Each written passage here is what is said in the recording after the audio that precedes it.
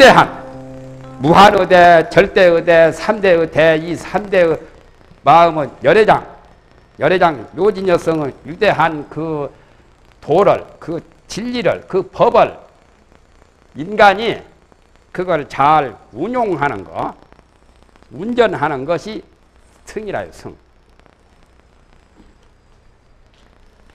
그것은 이제 말로 표현하면 마음이죠. 자기. 우주 만유 본체인 우주 만유를 형성한 마음을 어떻게 잘 활용을 하느냐 하는 것이 이게 성이라요, 성. 성이란 말은 문제의 뜻이 있죠. 비유로 이건 말한 겁니다. 술의 성자, 배나 술에는 인간이 탈 것으로 만들었죠. 타고 가는 하나 물체지만은 그러한 그 술에는 물건을 싣고 가기도 하고 또한 운전해서 이쪽에서 저쪽에 어, 목적지에 옮겨 놓는 그런 역할도 하기 때문에 성이라는 그것은 문제의 의미가 있어요. 그러면 대를 어떻게 문제를 하느냐? 문제를 하려면 귀신부터 이제 해야 된다고 해서 귀신으로 이렇게 밝힌 거죠. 그러면 이 성이라고 하는 것은 하나 불교에서는 이 성을 비유로 이제 성이라고 했지만은 성은 교라고도 표시합니다. 교. 부처님의 가르침이 바로 성이라요. 또한 법으로도 표시하고 또한 그, 그것을 이렇게 활용하고 작용하는 것도 바로 성의 뜻이다. 그러면 부처님께서 이 세상에 나와가지고 설법하신 내용들이 어떠한 내용들로 되어 있느냐 그것을 종류별로 나누면 이런 것이 있어요. 인성, 천성, 성문성,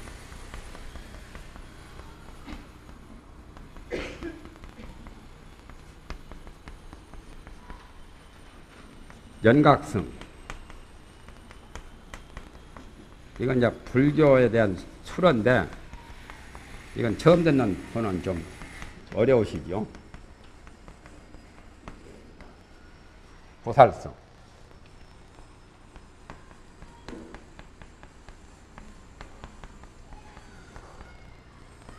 그 다음에 이제 불성. 이런 종류로 분류를 합니다. 이 불교나 모든 인간을 상대로 한 모든 어, 철학이건 과학이건 종교건 도덕이건 인간을 중심했지 인간의 동물 세계한테는 해당이 안 되거든요. 위독경 소규의 경 읽어봤자 안 통하니까. 그래서 맨 처음 우리 인간을 상대해서 인간이면 어, 어느 정도 인간의 선을 인간이 지켜야 되고 밟아야 되고 인간이 알아야 할 그러한 인간의 도리를 말한 것을 인생이라고 합니다. 그러니까 삼강 오륜이나 윤리 도덕이 다 인성에 해당돼요. 인간에게 필요한 법률도 필요하고 교육도 필요하고 여러 가지 그런 것들이 다 필요하지요. 과학이나 경제학이나 법률학이나 모든 것들이 다 인성법에 해당이 됩니다. 충신, 효자, 그런 충효를 가리킨 것이나 모든 게 다 인생이에요. 사람으로서 해야 할 법을 말한 게 인생이고, 그보다 더한 것은 인간보다 더한 것이 천국, 바로 천상, 하늘나라, 하늘에 태어날 수 있는 하늘나라의 영생을 어떤지 하늘나라에 갈 수 있는 인간이 더 승화해서 하늘이 되는 그러한 원리와 그러한 방법과 그러한 교육을 밝힌 그 법을 천성법이라고 합니다. 인성법, 천성법. 불교에는 저런 게 다 있어요. 이것을 합쳐서 인천성이라고 합니다. 인천성. 이걸 두 가지로 어, 이렇게 합쳐서 인천성인데 이건 불교의 말로는 세간법이라고 그래요. 비록 사- 사선 팔정을 바꿔서 천국의 욕계색계 부색계 같은 그런 천- 천국에 난다 해도 그건 삼계 윤회 세상의 법이다 이거예요. 세간의 법. 그리고 그보다 더한 것이 이제 성문성이라. 이것을 이제 소승이라고 말하죠. 소승. 이승이라고도 하고.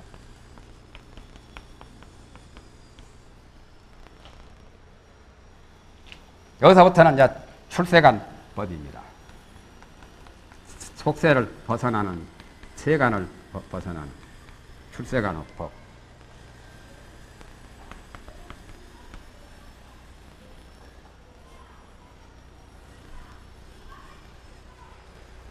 성문성, 연각성, 붙어성.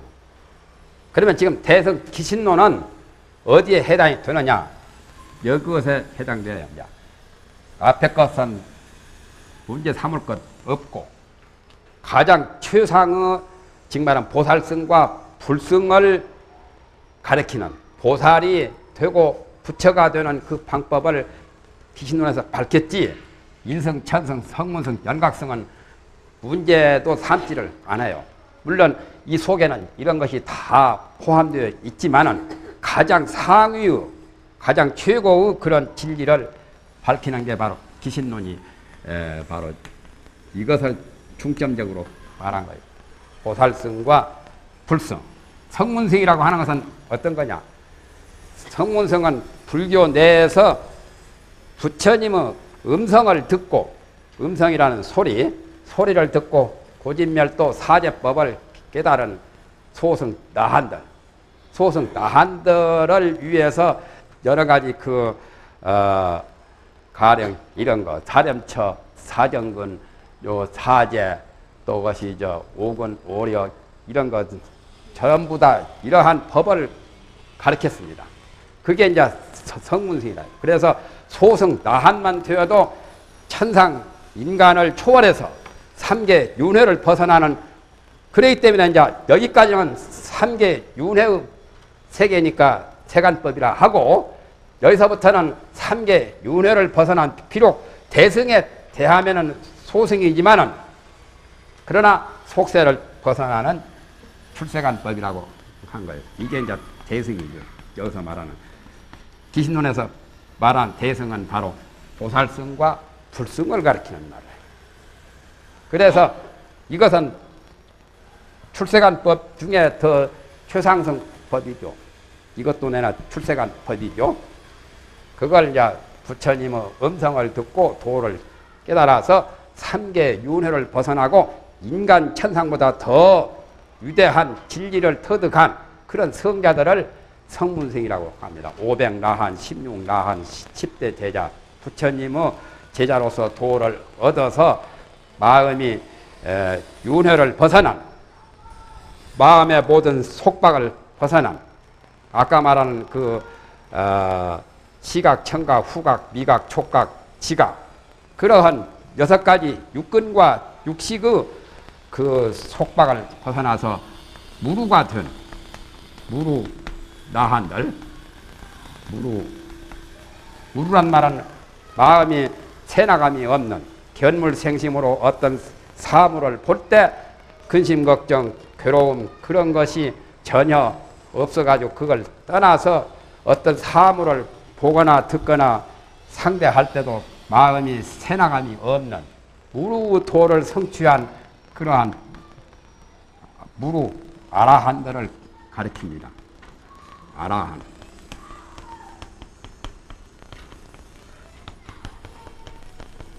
이분들이 성문이다. 이걸 가르쳐서 성문, 성문을 이룬 성문호 도를 이룬 사람이라고 합니다. 아라한이라는 말도 불교의 인도 말이고 수런데 아라한은 아, 인도 말로는 아르한인데 이걸 번역하면은 살적이라고 마음속에 도적을 죽였다는 뜻이고 또 천상 인간에서 가장 도가 높아서 위대하기 때문에 천상 인간은 공양을 받을 만하다. 은공. 공양을 받을 수 있다 해서 은공이라고 합니다. 부처님 보살 내놓고는 아라한이 최고 성자거든요. 제석천왕 같은 대범천왕도 아라한에게 경의를 표하잖아요. 천주들도. 그래서 은공이 된다는 거예요. 마음속에 번외의 도적을 다 죽였다 해서 살적이고 또한 이 인간 세계에 천상 세계나 다시 태어나지를 아, 안 해요. 생사 윤회를 벗어났다 이거예요. 그래서 불생이라고 번역합니다. 그래서 성문만 해도 대단하죠. 그 다음에 성문보다 조금 나은 종류가 연각입니다. 연각이라서는 인연을 깨달았다. 인연연자. 여기서 말한 12, 인연, 여기 12가지, 12가지 문명으로부터 행식, 명색, 유깁, 촉수, 애취유, 이 세상에 나고, 늙고 죽는 거, 인생의 일, 일막을 12가지로, 12가지 인연으로 설명한 그게 바로 12 인연인데, 그 12 인연의 도리를 깨달아서 인연을 깨달은 그러한 법, 그러한 교를 연각성이라고 해요.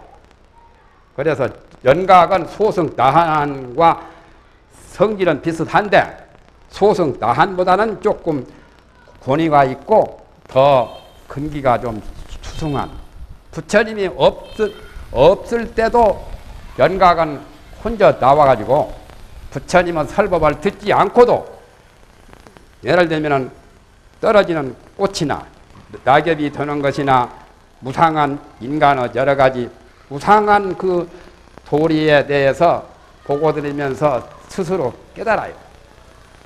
그렇게 될 경우를 연각을 별명 독각이라도 합니다. 자기 단독으로 부처님의 설법을 듣지 않고라도 자기 자신이 부처님 없는 세상에 나와서 부처님이 말씀하신 그 소승 교법의 진리를 자기 혼자 터득해요. 그러니까 유대하죠. 배우지 않고 혼자 터득한다는 것은 독각. 독각을 또 일명 연각이라고 해요. 연각이나 독각이나 비슷해요.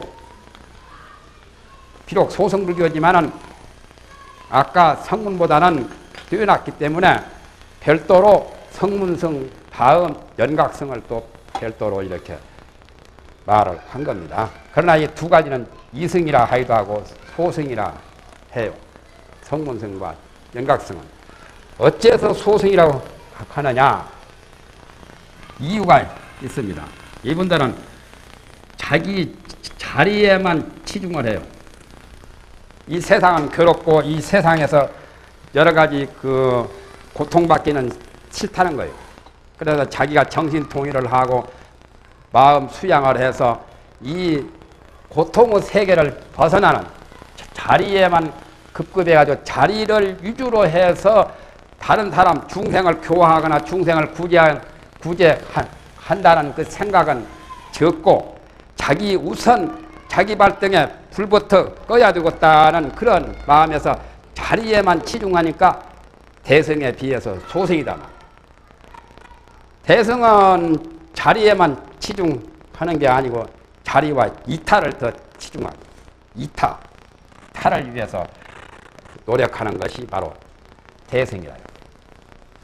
대성은 자리보다 더한 이타를 더 중점을 두기 때문에 그래서 대성이라요. 또한 소성의 진리는 무아의 정도만 깨달았어요. 아공.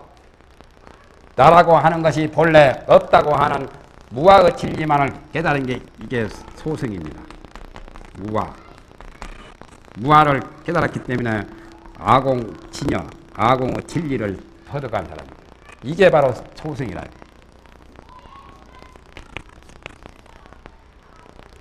그래서 아집을 떠나기만 해도 대단한 성인이죠. 그러나 아집을 떠난 정도만 가지고는 소성이지 대성이라 할 수 없어요. 대성은 어, 법까지도 다 초월해야 돼요. 무법이란 말은 이런 말은 안 쓰지만 내가 이건 쓴 거요. 이건 법공이 저는 겁니다. 그래야 대성이라. 아라고 하는 것은 하나의 치수화풍 사대 같은 거. 물질과 정신계, 물질과 정신이 서로가 하나가 합해진 우리 인간의 영혼과 육체, 영혼과 육체를 가지고 나라고 보는 것이 아집이거든.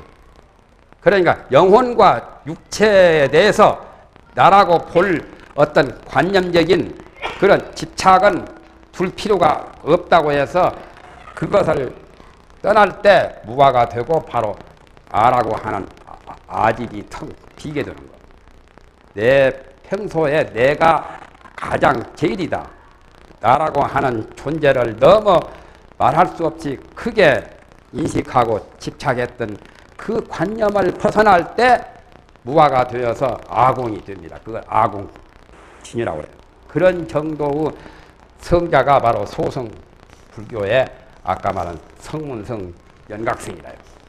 그러나 대성불교에서는 무화도 이렇게 넘어서서 무법까지 이 법이라고 것은 물질계와 정신계 알을 구성한 본체 요소를 다 법이라고 합니다. 우주 삼남한상 우주 만유를 다 법이라고 말하거든요. 법까지 텅텅 빈 그러니까 물질과 정신, 육체와 영혼에 대해서 나라고 보는 관념만 떠날 것이 아니라 더 나아가서는 우주 만유가 본래 없는 물질계도 없고 정신계도 본래 없는 텅텅 빈 진공의 그 도리, 진공의 그 원리를 깨달은 거예요. 진공이면서 그 자리는 묘유죠. 이러한 원리를 깨달을 때 법이 텅 비게 돼. 법에 대한 관념, 법에 대한 인식, 법에 대한 집착 이걸 떠날 때 아까 소송보다 더 진일보한 그러한 그 대생이 되는 겁니다. 아집이란 게 문제죠. 모든 사람들이 다 아집 가지고 살죠. 또 법집이란 게 또 문제입니다. 이거 아집과 법집 두 가지를 다 떠나야 완전한 대성불교의 성자가 되어요. 그러니까 꿈속에 꿈에 장주가 장자 남하경에 나오는 장자가 나비가 되어서 나비의 몸이 됐을 때는 나다니면서 꽃동산을 보고 꽃을 보고 좋아하고 거기에 꽃을 탐내서 즐기고 놀다가 꿈을 깨고 보니까 나라고 하는 게 없잖아요. 나비가 자기 했는데 나비도 없는 거란 말이에요. 나비도 없는 나비로 되었을 때는 나비가 자기라고 고집을 하죠. 뱀이 됐을 때는 뱀이 자기 뱀 몸을 자기 자신이라고 고집하고 사람이 되었을 때는 사람 자기 몸을 자기라고 고집하고 소가 될 때는 소 몸을 가지고 자기라고 하지만 그런 게 본래 있는 건 아, 니거든 그런 집착이 아집이라요. 장자가 꿈에 나비가 되어서 꽃을 보고 즐기고 여러 그 꽃동산에 날아다녔지만은 나비라고 하는 그 생각, 그 관념이 꿈을 깨고 보니까 온데간데 없거든. 그렇게 될 때 아까 무와 아공이 된 거예요. 그러나 더 깊이 보면은 꿈에 나비가 된 것만 없어진 것이 아니라 꿈 속에 보았던 그 꽃동산, 꽃 같은 것도 없는 게죠. 꿈속에 몽중의 세계가 없는 거예요. 몽중의 자신만 없는 게 아니라 몽중의 객관까지도 없죠. 몽중 세계에서 꿈속에서 자기가 느끼는 객관은 이 법이 됩니다. 주관은 아가 되고. 그래서 주관과 객관을 다 초월할 때 아집, 법집을 떠나서 아까 말한 아공, 되어요. 그렇게 되는 그 성자가 바로 대성불교의 보살이고 더 나아가서는 부처가 되는 겁니다. 그래서 대성 기신론이라고 하는 대성은 바로 이러한 보살성과 연각성보다 더한 불성, 불성이 가장 최고 목표지. 그러나 보살도를 닦아서 보살의 발심을 해가지고 보살이 부처 쪽으로 이렇게 수도를 하는 그러한 방법을 말해준 것이 대승 기신론이다 해가지고 여다가 제목을 대승 기신론이라고 했지 소승 기신론이라고 하지를 아니했다는 거죠. 그러니까 인성 천성 따위는 말할 것도 없죠. 그러니까 대승불교를 배우려면 대승 기신론을 모르고서는 안 되죠. 대승 기신론이 상당히 어렵습니다. 좀 비교적 어려운 거라요.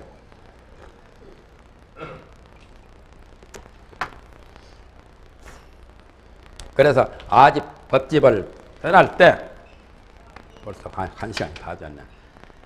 떠날 때 완전한 대성 보살이 되는 거죠. 우리는 그걸 떠나기가 어렵잖아요. 오원이 개공이라고 했잖아요. 반야심경에 조견 오원 개공. 오원이 다 공했다는 것이 오원 개공만 된다면은 뭐가 되냐면 여기에는 아공도 되고 또 법공도 되는 겁니다. 여기서 법이라고 하는 것은 우주 만유, 우주 만법을 다 법이라고 그래요. 물질계, 정신계, 산화대지, 삼남만상, 우주 만법을 다 법이라고 합니다. 그래서 오원이라고 하는 것은 색수상 행식인데 색수상 행식이 바로 물질계와 정신계, 아와 법 두 가지를 오원이라고 합니다. 줄이면 오원이요. 우주만법을 가령 이 색, 수, 상, 행, 치 이것은 물질이고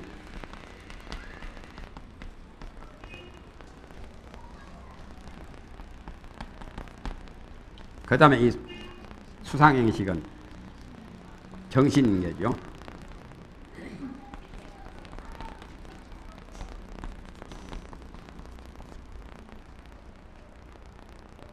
따지고 보면은 우주만법이 물질계하고 정신계 외에는 없잖아요. 아까 지수, 화풍, 공이 다 물질 아닙니까? 현대 식대는 수상행식과 같은 정신에 속하는 마음 쪽이죠. 심리 쪽이죠. 물리 쪽은 색이고 불교에서의 색이라고 하는 개념은 여러 가지로 쓰입니다. 형체가 있는 유형물이나 형체가 없는 허공까지도 색에 해당돼요. 허공과 물질을 이렇게 둘로 분류할 때는 물질이 따로 있고 공이 허공이라는 공이 따로 있지만은 공을 말하지 않고 그냥 이렇게 말할 경우는 색이라는 개념이 색성 향미 촉법이 다 색이라요. 여기서 말하는 색은 색성 향미 촉법을 다 말하는 거지 그 육진 가운데 색만 가르친 것은 아, 니라요 그래서 이 물질계를 대표할 때 색 그러고 정신계를 대표할 때 마음의 감수작용, 마음의 생각하는 그 사상이나 여러 가지 그걸 상이라 하고 마음이 그대로 가만히 있지 않고 자꾸 마음이 흘러가는 천류 유행하는 것을 행이라 하고 또 마음은 어떤 사물에 대해서 인식을 하고 판단을 하고 구별을 하는 그것을 틱이라고 하거든요. 이 정신이나 이 물질을 통틀어서 오원이라고 합니다. 이것을 색수상 행식을 다섯 가지가 우리 마음속에 쌓여 있다 해서 쌓이론자 오원이라고 하는데 이 오원이 다 비었다고 할 경우는 오원에 대해서 나라고 여겼잖아요. 육체와 정신이거든. 영혼과 육체 아니요. 색은 육체니까. 육체와 이 영혼에 대해서 나라고 보았던 그 관념이 아까 말한 아집이거든. 그걸 떠나면 악원이 되고. 또한 이러한 것들이 물질계와 정신계가 존재하고 있다고 보는 그 관념을 법집이라고 그래요. 법에 대한 집착. 그것을 떠날 때 법공이 되는 거예요. 무화처럼 무법이 되는 거죠. 무법천지라는 그 말하고는 다르죠. 법 질서를 지키지 않는 무법 무법천지 그다음은 다른 개념입니다. 완전히 우주만법에 대한 어떤 그 관념을 떠날 때, 초월할 때 그걸 법공이라고 표현을 합니다. 그게 이제 바로 대승에서는 어, 그러한 진리를 논합니다. 그게 이제 대승이죠. 소승이 아니고 대승에 대해서 믿음을 일으키는 그러한 논이다. 믿음이라고 하는 것은 가장 중요하죠. 도와 진리에 들어가는 데는 믿음이라는 것이 제일 중요하기 때문에 믿음을 여기서 강조를 합니다.